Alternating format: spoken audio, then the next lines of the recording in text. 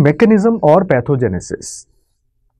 This activation of this abnormal splice site which we have just discussed, which is normally inactive, it causes two problems. It causes problems in the translation process also and it produces problems in the post-translational modification of the protein also. This results in an abnormally shortened protein called progerin. This progerin has 50 amino acids missing near the C end. So, translation में problem and post translation modification it is a farnesylated protein which is responsible for nuclear damage and starts a cascade resulting in premature aging. Let me try to simplify the simplified version of what is happening in these patients. Let us first talk about a normal person. In a normal person, what happens is there is a gene called as LMNA, right? When this gene operates normally, there is trans, you know that uh, first translation happens for the formation of a protein. So, there will be translation leading to the formation of let me try to simplify whatever I have said so that all this uh, mumbo jumbo that you have just listened, it makes more sense. See, all these technical terms are important because end of the day, questions will be asked on technical terms. But if you understand, it will be easy for you to relate to those technical terms. So, what exactly is happening? Simple language summary. Let us talk about a normal person here. You know the protein process, how it does a protein form First, there is a DNA to mRNA formation, we call it as transcription. That mRNA forms a protein, we call it as translation and then that protein undergoes post-translational modification in endoplasmic reticulum and Golgi and then it is released to the outside. It produces this function. This is the normal process, right? So, the normal process LMNA gene will first undergo transcription and translation. So, I am just combining both the two processes.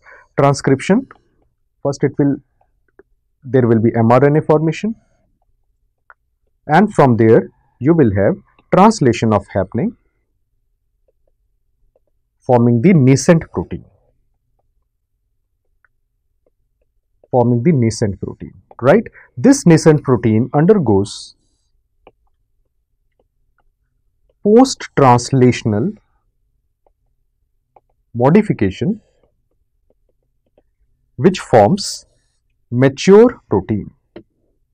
What is this mature protein? This mature protein is lamin A and lamin C. It is written as lamin A oblique C. Lamin A or C, they are a type of nuclear filament proteins which are present on the inner side of nuclear membrane right? These nuclear filament proteins are present if this is the nuclear envelope, they are present here. This is the site where these lamin proteins are present. They are involved in processes like proper DNA replication, proper mRNA translation of various proteins. They play a role in nuclear scaffolding they also play a role in nuclear signaling and control of apoptosis. This is what is happening in a normal person, right? In a patient with progeria, what will happen? In a patient with progeria, during translation, during translation, you will have a shortened protein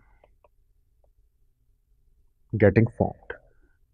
So, first defect will be at the level of translation. So, a shortened protein which will have 50 amino acids missing from the carboxy end.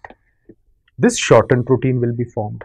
Second, and this is happening because of those genetic mutations which I just told you, alternate uh, mechanism the splicing mechanism which is usually inactive that becomes active due to the mutation right? Secondly during post translational modification this shortened protein will undergo farnesylation Farnesyl is a it is a it is a lipophilic group which is transitionally attached to the protein, produces changes in the protein and then it is removed. This farnesylation cannot be removed once it gets attached and so this farnesyled protein, this persistently farnesyled protein, short protein is called as progerin. This progerin causes damage to the nuclear membrane and this damage leads to premature aging in the patient. Why we call it as dominant negative? Because the disease is not getting produced because of absence of lamin, but it is the protein, abnormal protein which is getting formed, which is not only causing direct damage, it is also interfering with the function of the normal lamin A or C, which can still be formed by other processes. And so, this is called as a dominant negative gene mutation. This is what is normally happening. Let us try to move further into details what Nelson talks about. So, you have this is the normal process. Now, ye mRNA protein up this this is the initial protein translated protein which has come right the different colored segments are being shown here, right? You have the blue colored segment which is the core alpha helical core of the protein. This black colored segment its role will come in some time and this yellow colored segment is the terminal end, right? Initially once the protein is formed, this is a nascent protein which is being talked about. This is the nascent protein. Nascent protein means abhi fresh bana hai. This protein goes into endoplasmic reticulum and Golgi apparatus and process of post-translational modification starts. In the first process, you will have farnesyl transferase enzyme acting here. Look at this terminal end. C stands for cysteine, AA stands for amino acid, any number of amino, any amino acid can be present and X is a variable chain.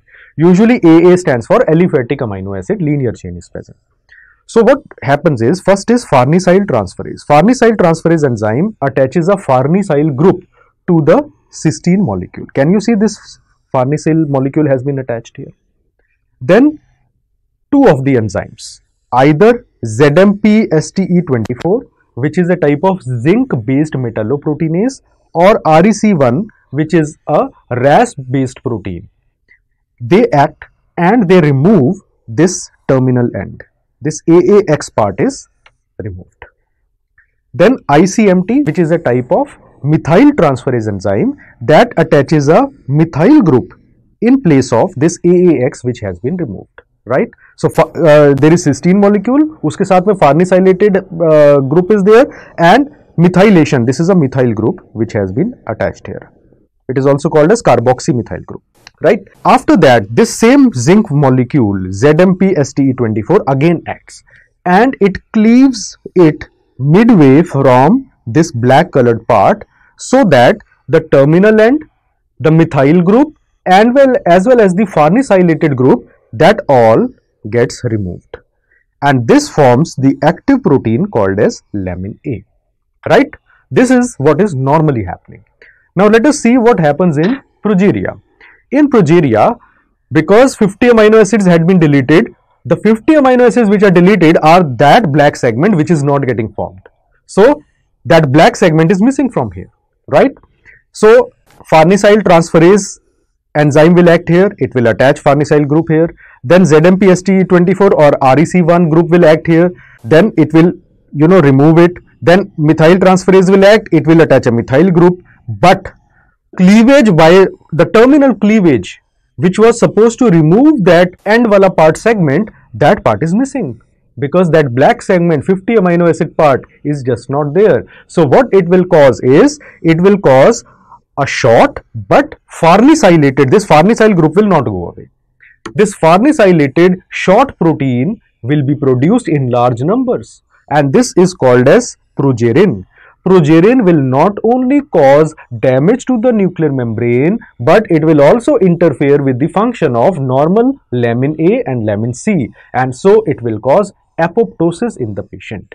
There is a new drug which has been introduced called as lonafarnib which at this farnesylation step and so potential it is one of the potential mechanism how the disease can be modified how the uh, disease can be affected by external therapies So this is how progeria happens. It is complicated. एक बार में नहीं आएगा. You need to listen to it twice and then probably try to inculcate these concepts in your mind. Subscribe and press the bell icon so you never miss an update from PrepLadder.